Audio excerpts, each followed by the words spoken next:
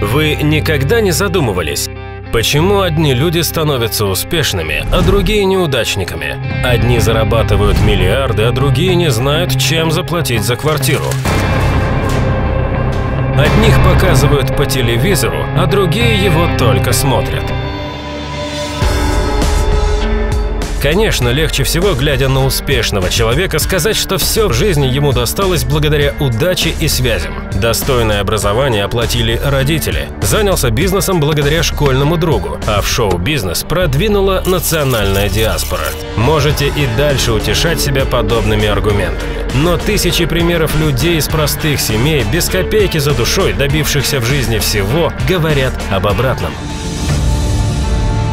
Мозг. Вот настоящая причина побед и неудач. При рождении у всех нас он был одинаковым. Если бы отличался, то ученые смогли бы определить степень успешности и благосостояния ребенка еще в раннем возрасте. Но это невозможно, потому что будущее любого человека зависит от интеллектуальных тренировок.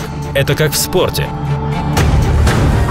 Кубики на животе сами не появятся. Чтобы почувствовать их, нужно много трудиться в спортзале, постоянно повышая нагрузку.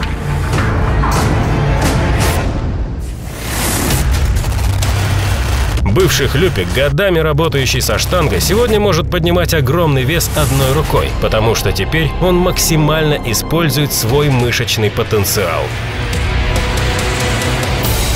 Среднестатистический человек задействует возможности мозга не более чем на 10%. Все остальное нужно тренировать, иначе орган атрофируется.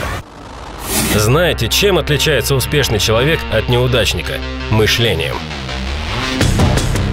Глядя на роскошный автомобиль, один думает, что ему нужно много лет экономить, чтобы купить такой. Другой понимает, что необходимо больше зарабатывать и находит быстрое решение, как это сделать. Все потому, что люди с натренированным мозгом не живут шаблонами, как большинство. Они умеют быстро принимать решения, достигать поставленных целей, добиваться любого результата. Разорившись однажды, быстро строят еще более успешную компанию.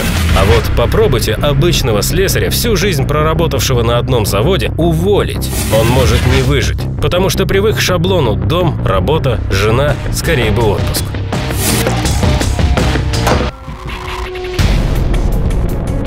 Интеллектуальные тренировки нужны для того, чтобы вырваться из шаблона. Наивно думать, что стать успешным, влиятельным и богатым можно, прочитав книгу, посетив бизнес-тренинг или семинар. Тренировка – это не разовое мероприятие, а систематическое. Попробуйте накачать бицепс, проведя выходные в обществе именитого культуриста. Или научиться водить автомобиль, посетив двухдневный семинар с опытным шофером.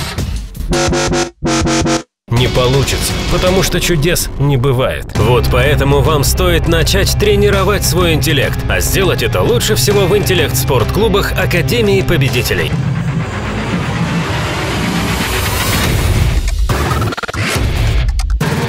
Любая спортивная тренировка состоит из нескольких этапов – работы с тренажерами, спарринг встреч и наставлений тренера. Интеллектуальные спортзалы построены по тому же принципу. Есть и спарринги между учениками, и тренажеры в виде материалов для самостоятельного изучения. И, конечно же, интеллект-тренер, который сам прошел путь от простого мастера на автозаводе до влиятельного предпринимателя. Его задача – передать свой опыт и знания и заставить работать мозг тех, у кого он есть. Если вы хотите стать успешным и изменить свою жизнь, то скорее записывайтесь в интеллект-клуб